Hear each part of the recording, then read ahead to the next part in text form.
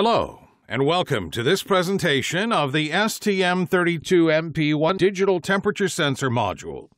It covers the main features of this block, which is used to convert the die temperature to digital values for further processing in the digital domain. This digital temperature sensor allows the microcontroller to measure the die temperature without using other analog resources. The temperature sensor itself only consumes 20 microamps.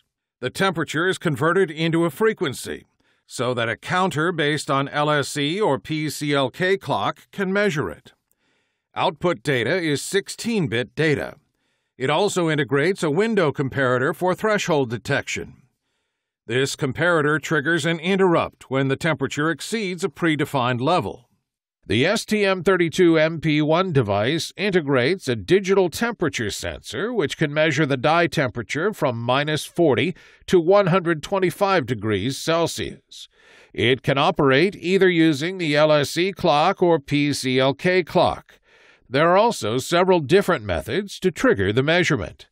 The temperature watchdog function can generate interrupts or wake up signals. This is the general block diagram for the digital temperature sensor embedded in the STM32MP1 device. The digital temperature sensor has three operating modes depending on the clock source selected to operate the temperature measurement. Note that the PCLK clock is mandatory to access the APB registers. The digital temperature sensor block generates a clock output frequency proportional to the temperature. This frequency can be measured by the PCLK clock, or when LSE mode is selected, LSE clock frequency is measured by CLK PTAT. The counter data is available in the TS1 MFREQ register.